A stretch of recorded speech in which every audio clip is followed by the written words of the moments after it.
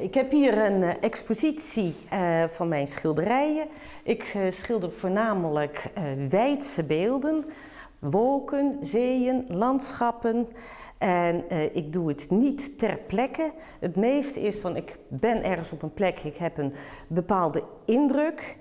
Die stop ik in mijn hoofd, in mijn geheugen.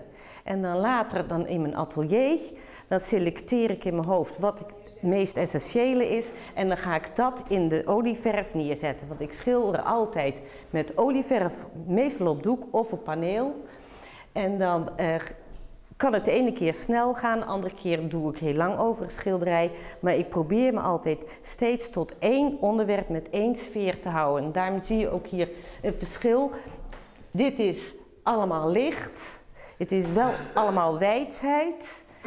En daar aan die kant dan heb ik de zee weer, die wat donkerder weer op een gegeven moment was. Dus op zich, het wisselt allemaal een beetje van elkaar. Van, als je het één gedaan hebt, dan heb je weer opnieuw inspiratie om weer iets anders uit te proberen.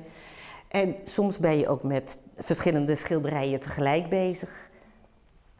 Ik hou altijd heel erg veel om op een gegeven moment wel licht naar voren te brengen, te toveren eigenlijk in het schilderij. Omdat dat een mens ook een beetje blij in zijn hart kan maken. Want ik hou ervan dat als iemand naar de schilderijen kijkt en daarna weer verder gaat op de dag, dat hij er een goed gevoel over heeft.